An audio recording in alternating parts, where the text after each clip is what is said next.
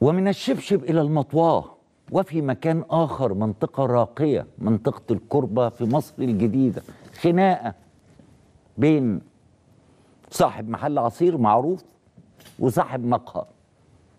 خناقة مش فاهمين أسبابها. بيقولوا إن السبب إن بتاع المقهى قال لبتاع العصير أنت لازم تمشي وأنا اللي بمتلك العقار عشان أوسع. وانتهت بمطواه وغز ثمان ضربات متتالية.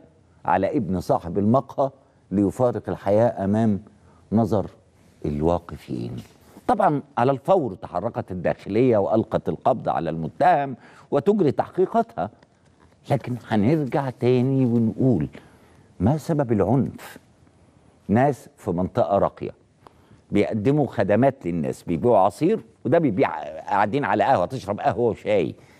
إيه اللي يخلي وسيلة الحوار هي المطوة ما في قانون. ما انت لو ليك حق في المحل روح ارفع دعوة.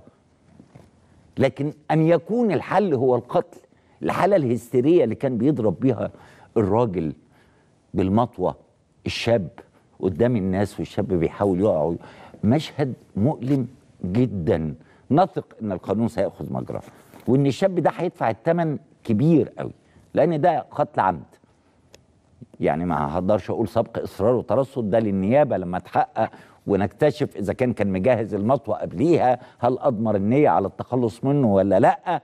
لكن القتل العمد إنه كان يضربه طعنات متتالية ومحدش قدر يشيله وكان مصر على ضربه. فهنا في قتل عمد بنتكلم من 25 سنة للإعدام يعني.